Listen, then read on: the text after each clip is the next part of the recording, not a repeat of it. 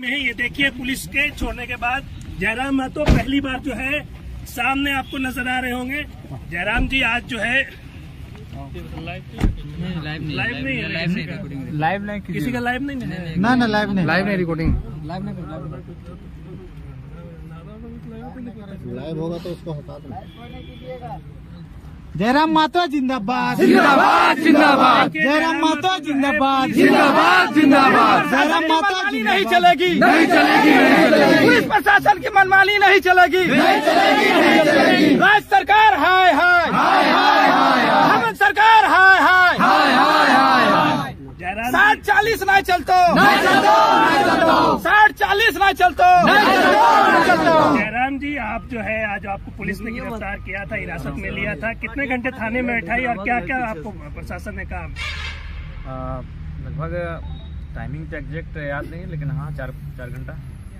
और वहीं दो तीन गो थाना का चक्कर लगाया गया कि सूचना उनको मिल रही थी कि इस थाना में तो लड़का लोग वहाँ पहुँच रहा था। इस तरह दो तीन थाना का चक्कर काटते काटते ग्राउंड में हम लोग को रखा गया था फाइनली और फिर कागज़ी प्रक्रिया के बाद हमें छोड़ दिया गया है। क्यों हिरासत में लिया था? क्या कहा गया आपको? देखिए हमें कहा गया कि मैंने आपकी उपस्थिति से आंदोलन में मैंने थोड़ा सा लग रहा है कि सरकार के ऐसे भी सरकार की नीतियों के खिलाफ हम लोग प्रदर्शन कर ही रहे हैं तो उनका कहना है कि आपकी उपस्थिति हमारे लिए माने विधि व्यवस्था को डैमेज कर जबकि ऐसा कुछ नहीं था। हम लोग तो शांतिपूर्ण तरीके से आंदोलन कर रहे जबकि हम तो आज शांति से बैठे थे जब पूरा देखें लाठीचार्ज उस समय हम बोले कि हम लोग भागेंगे नहीं।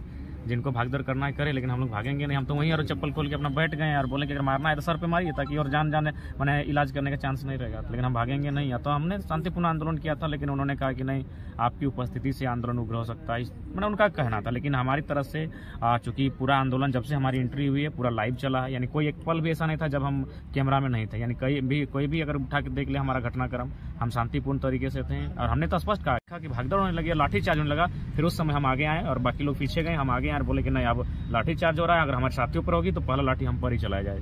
तो फिर हम लोग वहीं बैठ गए, बोले लाठी चलाने चलाइए, हम लोग भागेंगे नहीं। तो उन्होंने कहा, नहीं, आपको डिटेन करना है। बोले, जो करना है, कीजिए, हम लोग भागेंगे नहीं। और आज तो शहीद आज़म भगत सिंह का शहादत दिवस है। शहीद आज़म भगत सिंह सुखदेव राजगुरु को, उनकी शहादत को नमन करते हैं। और बिल्कुल, चूँकि उनको अगर आदर्श मानते हैं तो आज हमें साबित भी करना था कि उनको सच में आदर्श मानते हैं। हम लोग साबित किया। हम लोग पीछे नहीं हटे।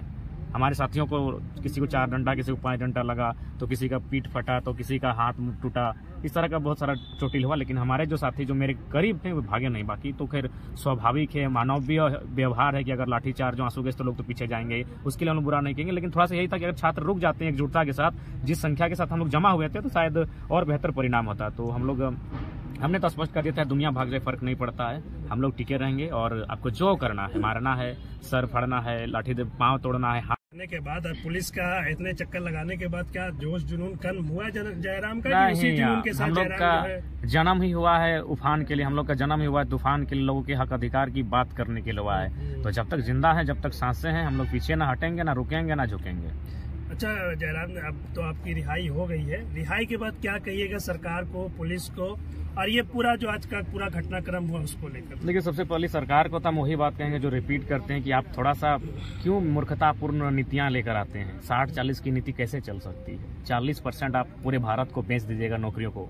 ईमानदारी से आप कहें, आप ऑन रिकॉर्ड हैं। बहुत सारे प्रशासनिक लोग हमसे ऐसे मिले उन्होंने अपने दर्द को सुनाया कि देखिए हम लोग भी झारखंड के हैं और बड़ी मुश्किल से तीसरा चौथा अटेम्प्ट में नौकरी ली है क्योंकि नाम नहीं कहेंगे देखिए रहे हैं हमारे साथ अगर किसी फ़ोटो दिख रहा है तो सस्पेंड हो जा रहे हैं। तो उन्होंने अपने दर्द को समझाया कि बाबू आप लोग जो भी कर रहे हैं सही कर रहे हैं लेकिन हम लोग क्या कर सकते हैं? हम लोग अपना ड्यूटी में बंधा हुआ है हम लोग सरकार के तंत्र हैं हमें अपना ड्यूटी करना पड़ता है। तो हमने भी कहा हमारी लड़ाई आपसे नहीं हमारी लड़ाई सिस्टम से उन्होंने बिल्कुल हम लोग भी तीसरे चौथे अटैम्प्ट में अपनी नौकरी को किए आज अगर प्रशासन में अगर हम लोग है भी तो बहुत दर्द के साथ झारखंड के साथ वास्तव में दर्द हो रहा है। चालीस क्यों बाहर को जाएगा?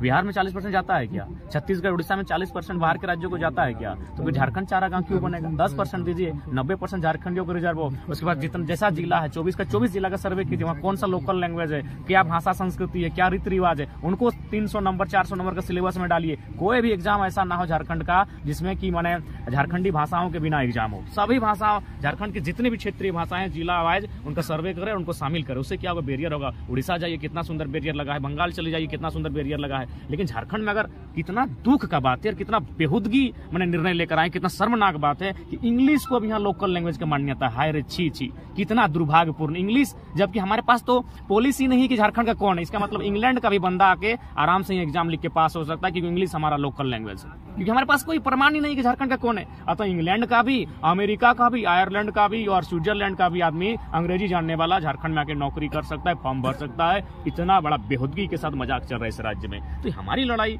जो जेनविन है, वो हमारे साथ है। बहुत सारे साथी मिले जो बोले, नहीं भाई, हम लोग बिहार राज्य संबंध है, लेकिन आपकी लड़ाई में बिल्कुल साथ, ये साठ चालीस कहीं नहीं है। तो बिल्कुल दस परसेंट, पंद्रह परसेंट अन्य राज्यों के लिए ओपन रहे, बाकी जो है वो मूल झारखंडियों के लिए रहे। हमारी लड़ाई कहीं गलती, गलत नहीं है। जो भी प्रशासनिक लोग जिन्होंने आज भले लाठीचार्ज किया है, लेकिन लाठीचार्ज करने के बाद उन्होंने कहा, हम ड्यूटी है इसलिए लाठीचार्ज कर रहे हैं, लेकिन हम लोग भी मानते हैं, ये गलत नीति है। जयराम जी, आप आज जो है पूरा घटनाक्रम हुआ। आप शुरुआत से एक बार बता दीजिए, क्योंकि आपके कई जानने वाले जो लोग हैं, वो पूछ रहे हैं कि जयराम को जब पुलिस ने हिरासत में लिया, हिरासत में लिए जाने के बाद से जयराम को छोड़ने तक पुलिस ने क्या कुछ किया आपके साथ? सबसे पहले हम लोग काफ़ी भीड़ थी। हम लोग जुटे हुए थे। प्रशासन के द्वारा जो विधि व्यवस्था एडीएम है, महोदय, उन्होंने अनाउंसमेंट किया अपने माइक से कि आप लोग यहाँ से चले जाए, नहीं तो हम लोग लाठीचार्ज करेंगे। तो हमने कहा कि लाठीचार्ज कीजिए, चाहे जो कीजिए, हम लोग का कदम पीछे नहीं हटेगा। हम लोग यहीं पे रहेंगे। तो फ़िलहाल लाठीचार्ज स्टार्ट हुआ। हमारे कुछ साथी जो कि मानवीय व्यवहार है, लाठीचार्ज और आँसू के साथ तो पीछे हटना स्वाभाविक है। लेकिन हम लोग हटे नहीं। जितना लाठी ज़ोर से चला, उतना हम लोग आगे बढ़े। हमारे कुछ साथी हमको पकड़ के थे कि नहीं, आपको छोड़ेंगे नहीं तो फ़िलहाल और हमने भी कहा कि आज भगत सिंह की शहादत दिवस है। अतः अगर हमें मारते मारते शहीद भी कर देंगे, लेकिन हम लोग आपकी लाठी से डर से पीछे नहीं हटेंगे। फिर हम लोग को वहाँ से एडीएम महोदय के द्वारा डिटेन किया गया कि नहीं, आज शाम तक, जब तक कि मैंने शाम नहीं ढलती है, आपको डिटेन किया जाता है और वे वहाँ लेकर जाते हैं। दो तीन थाना चूँकि हम लोग भी परिचित है, रांची के क्षेत्रों से कहाँ कहाँ घुमाया गया, आइडिया नहीं है। लेकिन दो तीन थाना का चक्कर हम लोग काटा गया और फाइनली एक मैदान था खुला। वहाँ ले जाकर हमें काफ़ी मैंने आपको कब छोड़ा गया? अभी अभी अंधेरे अंधेरे जब शाम ढल गई शाम ढलने के आपको धुरवा से गिरफ्तारी हुई आपके वहाँ विधानसभा के पास से? जगन्नाथपुर थाना के पास से और वहाँ से गिरफ्तारी करके आपको कहाँ लाकर छोड़ा गया आ, हम लोग को अभी और मांझी पार किया गया मैंने रांची की सीमा के बाद छोड़ा गया। और क्या कहकर छोड़ा गया है? यही कहकर छोड़ा गया कि आपसे मैंने आग्रह होगा कि जो भी हुआ हुआ। और हम लोग अपना ड्यूटी कर रहे हैं। तो आप लोग अब यहाँ से घर चले जाइए रात्रि को फिर वापस रांची मत आइएगा ये कहते हुए छोड़ा गया चेतावनी देकर छोड़ा गया चेतावनी नहीं एक तरह से आग्रह किया है। चेतावनी तो देते तो फिर खड़ा हो आग्रह जिंदाबाद।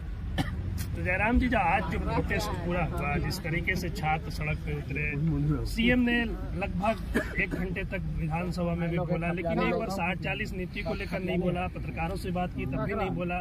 लेकिन जिस तरीके का माहौल है यहाँ पे क्या कहिएगा छात्रों को लेकर? वो असमंजस में है आप लोग सड़कों पर है लेकिन स्थितियाँ कुछ सुधरती हुई नहीं दिख रही है। देखिए सबसे पहली बात है कोई भी लड़ाई तभी जीती जा सकती है तब जब तक कि प्रत्येक राज्य में जितना भी जिला है, जितना भी ब्लॉक है, वहाँ के प्रत्येक छात्रों में जब तक वो बाल नहीं होगा, जब तक उनके पास जानकारी नहीं होगी आज मैं पढ़ने वाली युवा पीढ़ी सोशल मीडिया, रील्स में है, टिकटॉक में है, वीडियोज़ में तो उन्हें क्या पता चलेगा कि हमारे राज्य के साथ क्या दुर्दशा की जा रही है। तो इसीलिए जब पूरे स्टेट में मूवमेंट होगा, प्रत्येक जिला का मुख्यालय में, एक ही दिन गिरिडीह में, रांची में, हजारीबाग, धनबाद, बोकारो, रामगढ़ में जो मेन चौक है, वहाँ पर अगर सरकार की नीतियों के खिलाफ प्रदर्शन किया जाएगा, चाहे पुतला दहन हो या फिर कैंडल मार्च, जो भी तरह से जब एक साथ पूरे स्टेट का चौबीस का चौबीस जिला, दो सौ बासठ, तिरसठ जो प्रखंड है हमारे, वहाँ अगर मूवमेंट होगा तो इससे क्या होगा कि बहुत बेहतर रिज़ल्ट सामने आएगा। और आज करना ही होगा। अगर नहीं करते तो झारखंड के साथ भारी भूल होगी भले आज चूँकि देखिए स्टूडेंट है, पढ़ने वाले आज पंद्रह साल, दस साल से तैयारी कर रहे हैं तो हो सके हम भी अगर होते तो बोलते, चलो भाई, साठ ही है, उसी में फॉर्म भर लेते हैं। लेकिन क्या होगा, आने वाले बीस सालों में जब ये फिर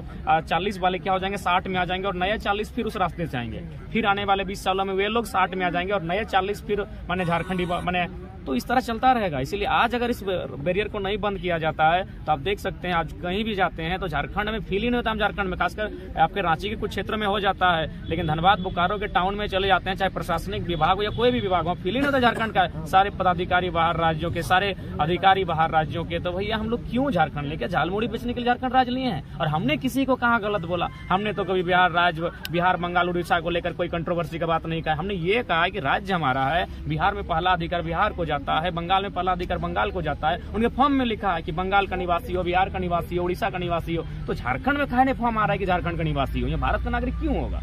तो यही हमारी मांग है। हमारी लड़ाई किसी भी स्तर से छात्रों की लड़ाई गलत नहीं है। आज अगर राज्य सरकार इस पर नियम नहीं बनाती है तो 20-25 सालों में जो झारखंड के मूल लोग हैं, वो धीरे धीरे अपनी जमीनों को छोड़ते हुए, अपनी नौकरियों को छोड़ते हुए, और ऐसे नौकरी आप छीनी रहे हैं वो लोग कहीं ना कहीं रिफ्यूजी बन जाएँगे, और ऐसा ना हो क्योंकि राज्य हमने रिफ्यूजी बनने के लिए नहीं लिया है, यह राज्य हमने हक पाने के लिए लिया है, यह राज्य हमने उन्नति करने